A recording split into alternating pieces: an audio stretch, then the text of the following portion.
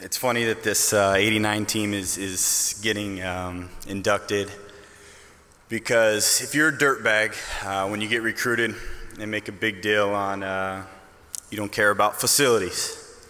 Um, you, you, you, like you said, you played all the games on the road. Uh, whatever you're faced with, you're going to handle. Whatever adversity is there, you're going to find a way. That's how we're taught. Um, this 89 team kind of started that, from what I understand. They'd walk around school with uh, always be dirty. Um, you know, just kind of got this name, the Dirtbags, and it kind of stuck for a long time. So you take pride in that. Uh, I wasn't highly recruited. I think that's kind of a lot of those guys sitting over there. That's how Coach Snow worked. Um, like he said, under you know guys that not everybody wanted. He wanted the guys, the right guys, to fit the mold.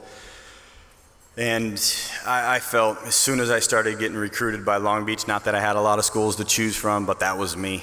Um, someone that, that got missed somehow. Um, someone that was out to prove himself. Um, so it matched. I was a dirtbag.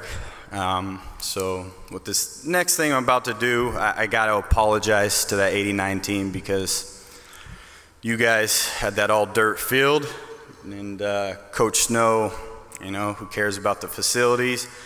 But, you know, I, I want to make a donation back to, to the university, and um, I know there's a, a, big view that these guys have that they want to uh, build, a, build a new facility. Uh, my donation of a million dollars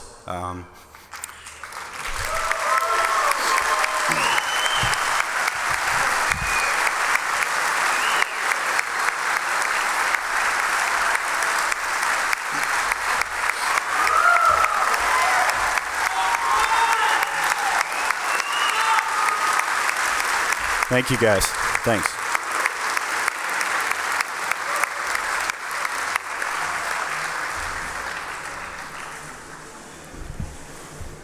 There's no doubt um, it's a lot of money, but at the same time, um, I wouldn't want to give it to anybody else other than this university. Um, so I know it's it's going to be well spent. Um, I encourage, you know, I, I, I really don't know the total cost of this project, but I encourage you know as many people out there if we can help this baseball program uh, work on our facilities